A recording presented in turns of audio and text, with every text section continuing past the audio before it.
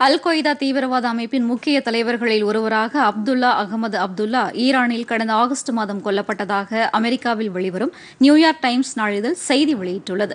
அப்துல்லா அகமது அப்துல்லா பல்வேறு முக்கிய தாக்குதலில் ஈடுபட்டதாக குற்றம் சாட்டப்பட்டு அமெரிக்காவில் தீவிரமாக தேடப்பட்டு வந்தார்.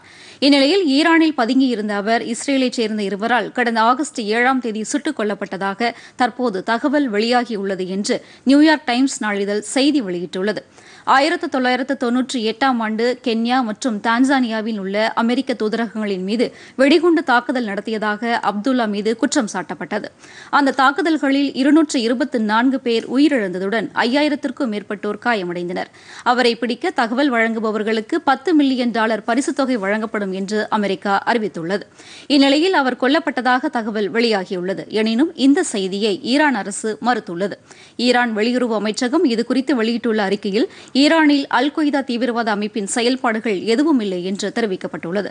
அமெரிக்காவும் இஸ்ரேலும் இதுபோன்ற பொய்யான செய்திகளை பரப்பி வருவதாகவும் ஈரான் குற்றம் சாட்டியுள்ளது. பொதிகை செய்திகளை யூடியூபில் தமிழ் நியூஸ் தூர்தர்ஷன் என்ற சேனலிலும் முகநூலில் டிடி பொதிகை நியூஸ் என்ற பக்கத்திலும் ட்விட்டரில் டிடி நியூஸ் சென்னை என்ற பக்கத்திலும் இன்ஸ்டாகிராமில் டிடி பொதிகை நியூஸ் என்ற பக்கத்திலும் காணலாம். மேலும் உங்கள் கருத்துக்களை Pothigai DD news at Gmail dot com என்ற மின்னஞ்சலில் தெரிவிக்கலாம்.